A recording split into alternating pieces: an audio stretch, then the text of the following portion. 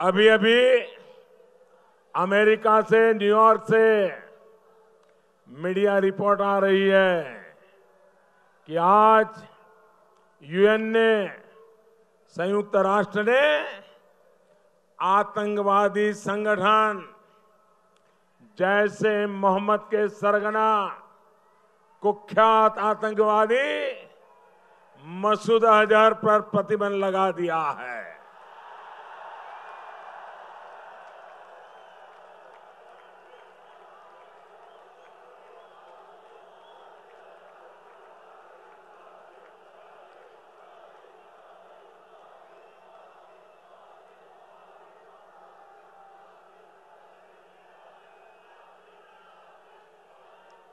मसूद अजहर को संयुक्त राष्ट्र द्वारा आतंकवादी घोषित करने पर आखिरकार विश्व में सहमति बनी।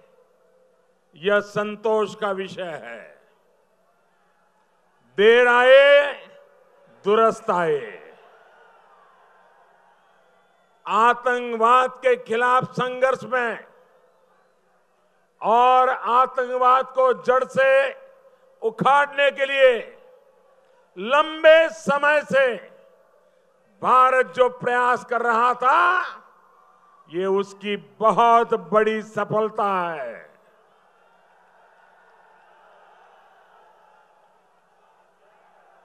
एक समय था जब देश में ऐसी रिमोट कंट्रोल वाली सरकार थी जिसमें प्रधानमंत्री तक की आवाज़, सरकार में भी कोई नहीं सुनता था।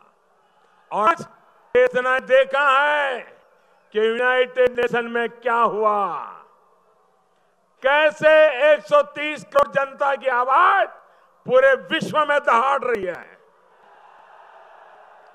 ये है नया भारत। और ये है इस नए भारत की ललकार। आज भारत की बात पूरी दुनिया में सुनी जाती है।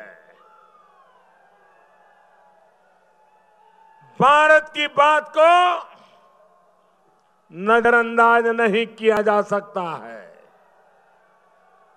ये बात आज साबित हो गई है।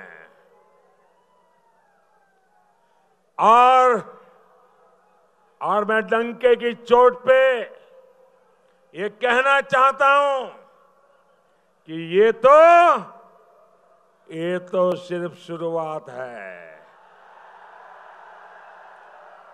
आगे आगे देखिए होता क्या है।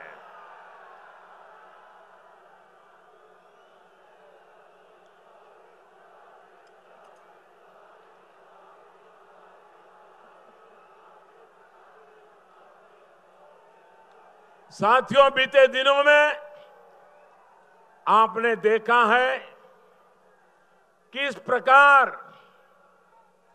जम्मू कश्मीर में आतंकवादियों का निरंतर सफाया किया जा रहा है। एयर स्ट्राइक करके पाकिस्तान में घुसकर आतंकवादियों के ठिकानों का तबाह किया है। उससे पहले सर्जिकल स्ट्राइक करके आतंकियों और उनके ठिकानों को नेस्त नाबूद किया है।